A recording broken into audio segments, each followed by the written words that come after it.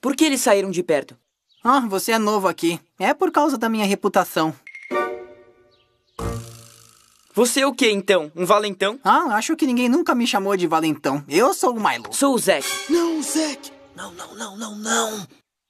Então, qual exatamente é essa sua reputação? Bom, as pessoas dizem que eu sou aquela palavra com A, mas sabe aquele ditado? Gravetos e pedras podem machucar seus órgãos vitais, então sempre use sua armadura. Oi, Milo! Tudo bem, Melissa? Acho que é melhor eu ficar aqui atrás. Melhor mesmo. Então, como foi o final de semana? Foi bem agitado. Aposto que sim. Ganhei uma cicatriz nova, você quer ver? Óbvio. Tá bom.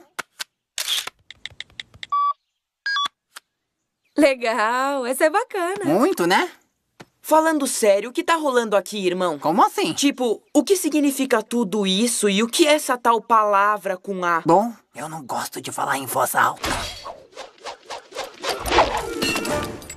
Ah, é uma dessas cordas elásticas super resistentes que usam pra prender material de construção. De onde será que veio isso?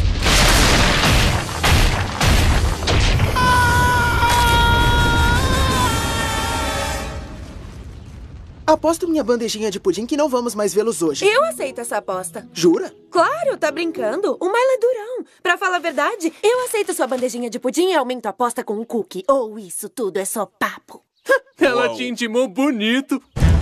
Ah! Espera, por que você não tá gritando? Descobri que não adianta nada. Só machuca a minha laringe. Ah, me passa essa corda elástica e segura firme na minha mochila. O quê? Ah! Aquela corda com certeza tava com defeito. Não, George, vai embora!